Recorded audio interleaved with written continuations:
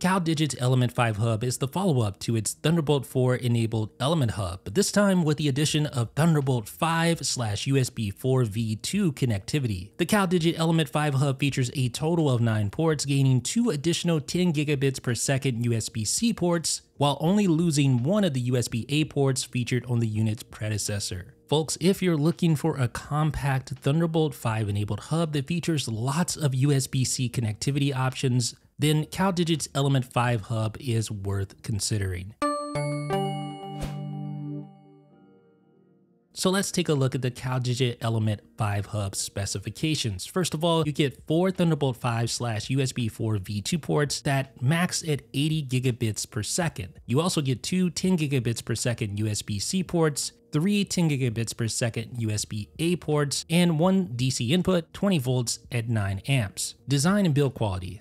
Unboxing the CalDigit Element 5 feels very similar to its predecessor in terms of build and design. In fact, the E5 features almost exactly the same dimensions except for the fact that it's just slightly taller, 18 millimeters versus 25.5 millimeters. And it also weighs a hair more, 0.18 kilograms versus 0.20 kilograms. But build material wise, the unit is completely unchanged. And like most CalDigit products, the Element 5 is comprised primarily of aluminum and features a set of detachable non-slip feet to keep it well planted on a desktop surface. It also features a reversible design so you can plug it into the left side of your Mac or the right side of your Mac in the case that you're using a MacBook Pro. So what comes in the box? Well, you get the Element Hub, you get a Thunderbolt 5 cable, you get two rubber feet strips alongside the hub and feet strips. CalDigit includes a 0.8 meter passive Thunderbolt 5 cable, a power cord, and a power adapter that's 180 watts versus the 150 watt power plant included with the original hub. The extra power is actually actually important here because the E5 now provides up to 90 watts of host charging versus the 60 watts provided by its predecessor. And this is a great option for those with Macs that can gulp down more power like the 16 inch MacBook Pro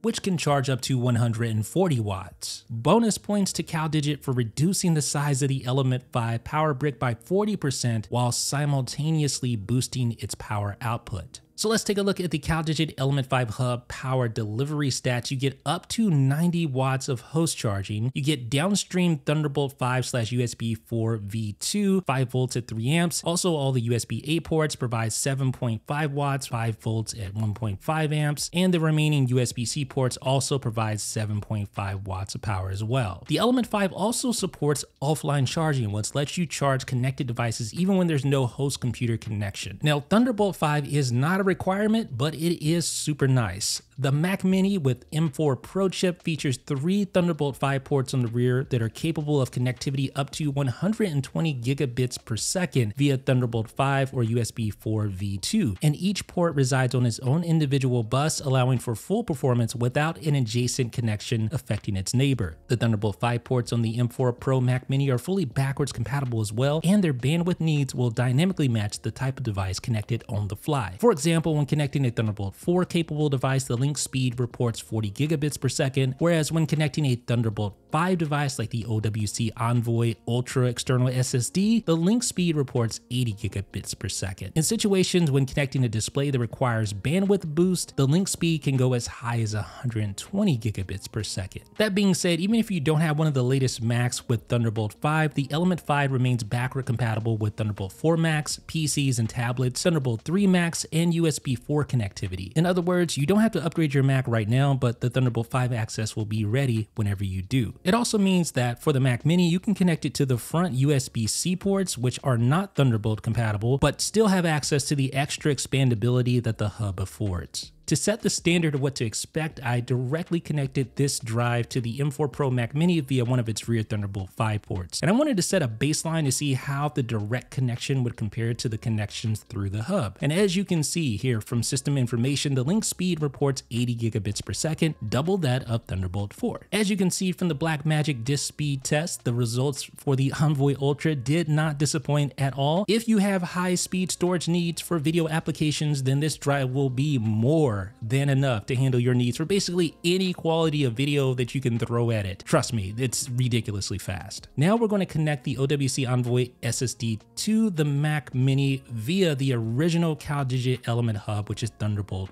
4. So this test alone illustrates why a Thunderbolt 5 enabled hub like the CalDigit Element 5 is beneficial because if you try to connect the Envoy Ultra to an older Thunderbolt hub, it's going to work, but its speed is going to be downgraded to 40 gigabits per second, significantly limiting the true capability of such a drive. So you basically just be wasting the performance. And you can see evidence of this by taking note of the 40 gigabits per second link speed in the system information details. And here is how the OWC Envoy Ultra performs when connected to the older Thunderbolt 4 CalDigit Element Hub. You can see that the performance is significantly hindered by the lack of bandwidth. I mean, it's not even comparable to the direct connection. So finally, let's connect the Envoy Ultra to the Mac Mini via the CalDigit Element 5 hub. System information reports an 80 gigabits per second link speed as expected, and you will notice the massive difference in performance when the Envoy Ultra is not bottlenecked by the lack of bandwidth, but is instead connected to the Thunderbolt 5 element hub. The speed here is much improved with read speeds essentially matching a direct connected drive and write speeds while a little bit slower, more than double the speed of what it was when connected to the Thunderbolt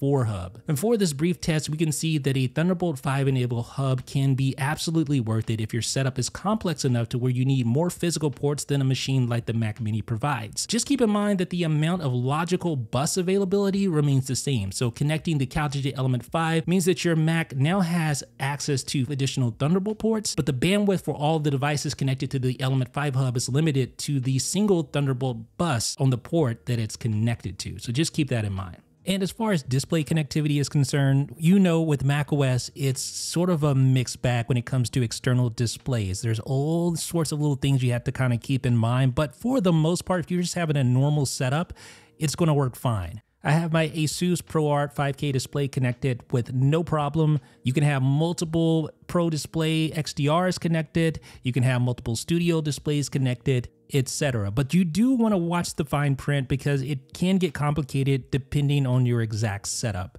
And when you connect bandwidth intense monitors to the Element 5 hub, it will enable bandwidth boost in order to prioritize displays and provide up to 120 gigabits a second of performance. So this will allow for higher refresh rate displays to connect, etc. So the bottom line is this, if you have a Mac or you plan on buying a Mac with Thunderbolt 5 and you have peripherals with Thunderbolt 5 connectivity and you could benefit from that extra bandwidth, then it makes sense to consider the CalDigit Element 5 hub. And this is especially true if you find yourself running low on physical ports. For instance, with the Mac Mini, you only get three Thunderbolt 5 ports. You can find the CalDigit Element 5 for a little under $300 at various retailers. Let me know what you guys think down below in the comments. This is Jeff with the 9 to 5 Mac.